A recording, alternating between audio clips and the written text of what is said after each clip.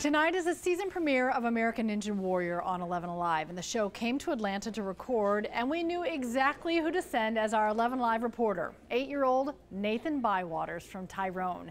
We featured Nathan on Brave Conquers Fear a couple of months ago. He overcame a rare heart surgery and continues to strive for his goal to compete as a junior Ninja Warrior.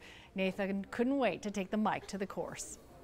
How you doing? I'm Matt. Good. I'm Nathan. Nathan? Nathan the Heart Warrior. If you're a heart warrior, you need to say it the right way. I'm Nathan the Heart Warrior. Can you give me one of those? I'm those? Nathan the Heart Warrior. From reporter to fan to fan favorite, a night of ninja dreams come true. Why do you like being the host? Well, because I get to tell stories like yours or stories of the athletes who come on this show. It's so much fun.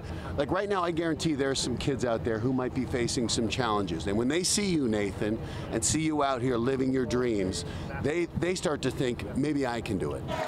Nathan soaked it all in from the second he walked on set. What do you think would be a good tip for me?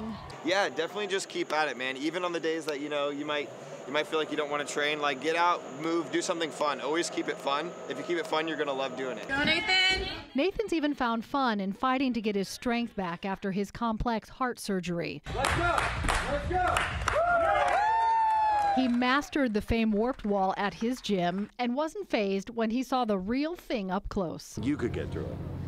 Probably. Probably. No shortage of confidence on this one.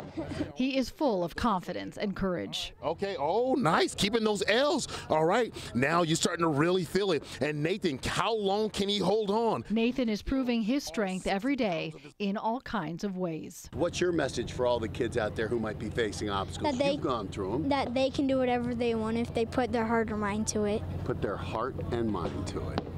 It's pretty good. I, I got nothing to add to that. you really nailed it. He did such a good job. He really got the VIP treatment. American Ninja Warrior is on at 8 o'clock tonight right here on 11 Alive. The show they did in Atlanta, by the way, airs one week from today. Well, you have an opportunity.